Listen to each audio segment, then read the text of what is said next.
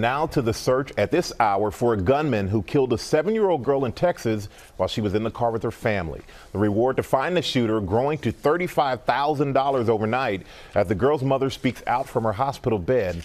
ABC's Linsey Davis is here, and Linsey, police are now calling this a totally unprovoked attack. They are. Good morning to you, Michael. Authorities are calling this a senseless act. LaPorsha Washington says she doesn't know the man or his motivation, but she says that she does know that he intentionally shot and killed her seven year old daughter, Jazmine. And now she and Jazmine's father are pleading for justice.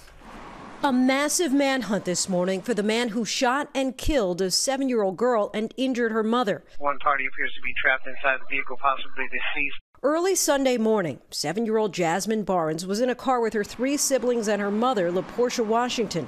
Washington says they had just passed a Houston area Walmart when a car pulled alongside them. I heard shots start firing and they came through my window, broke my glass, hit me in my arm. They sped off in front of us, and the truck slowed down and continued to fire as he was in front of us. It was one of her daughters who alerted her about Jazmine.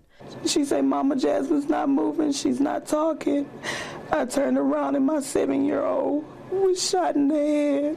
Police don't know if the shooting was targeted or random, only releasing this surveillance image. The suspect, described as a white male in his 40s with a beard. He was last seen wearing a red hoodie and fleeing in this red pickup truck without a license plate.